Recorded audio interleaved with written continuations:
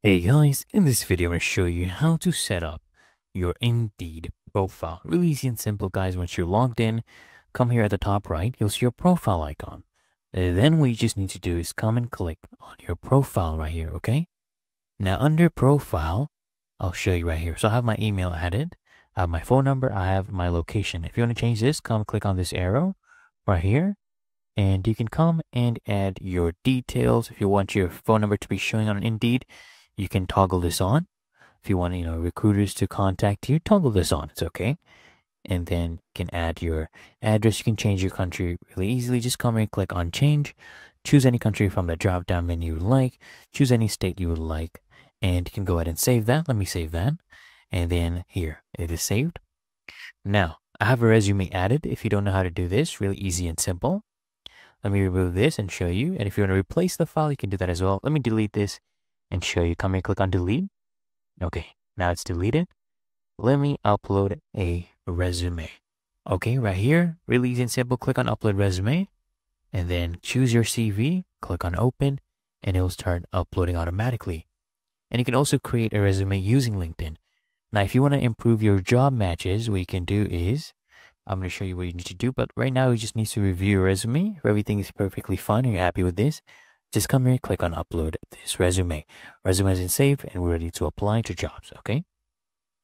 Now, if you want to improve your job matches, you need to come here and input things like your qualifications. So just click on this and then choose whatever qualifications you have. So since we have already put in our CV, it has picked up some skills. As you can see right here, this picked up skills. We can add things like our most recent work experience and education. So let me add those right here. Let's say we're an accountant. Okay, we're an accountant at Google, right? We'll put that right there. Google, an accountant, click save. That's our most recent work experience. My education, I was a had a bachelor's degree and accounting. Okay, add that. We can save that or we can also save and add another.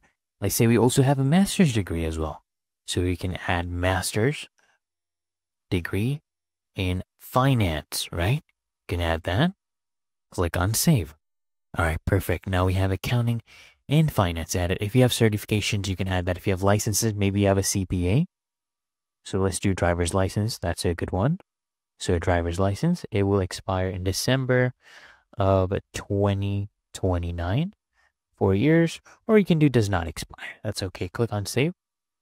And of course, you can add other ones as well.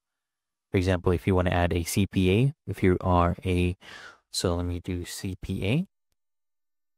And then this one never expires, does not expire. You can, you will always be a CPA the rest of your life, right? So let me go back right here. So these are some of, so you can add more work experiences, more uh, levels of education, licenses, if you have any certifications, you can add that. If you speak a bunch of languages, you can add those as well. So look, I'm here, click on the language, and I can speak English. So I'll put English right here. Proficiency, I am a fluent English speaker. Save and add another one. And then let me add another language, for example, Swahili. I'll add Swahili. I am a fluent Swahili speaker. Come here, click on save. And of course, you can add more languages as well. Your qualifications. Go back to your profile. And now you can add job preferences. Okay. For example, what kind of jobs do you prefer? This will help you during your search.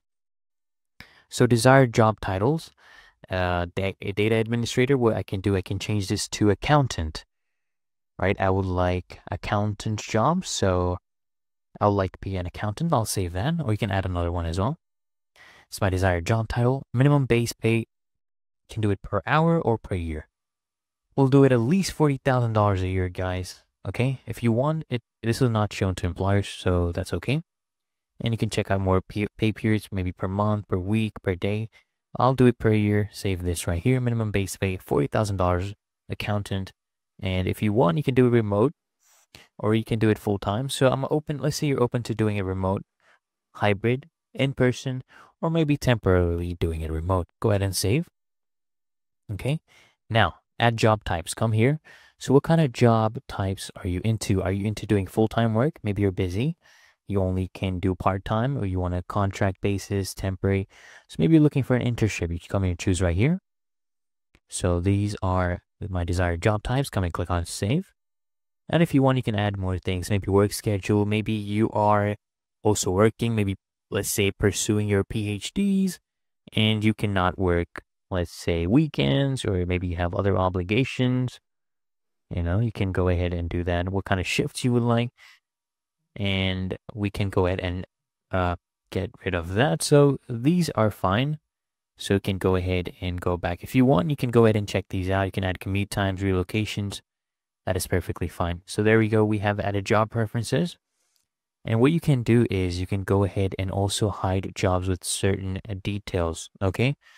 So what happens here is when you are looking for jobs and you provide some feedbacks about certain jobs that you don't want to see with certain details, that it will be showing up right here. They will not be showing you such jobs anymore. And then this is the ready to work section. Okay. So right here, if you toggle this on, you let your employees, uh, your employers, if potential employers know that you're available to start working immediately. You know, some people tend to have things like notice periods they have to give. So if you are available to immediately start working, maybe you're currently unemployed, you know, due to maybe frictional unemployment, you can go ahead and click on toggle this on, click on save. Really that easy and simple. And that is how you go ahead and set up your Indeed profile.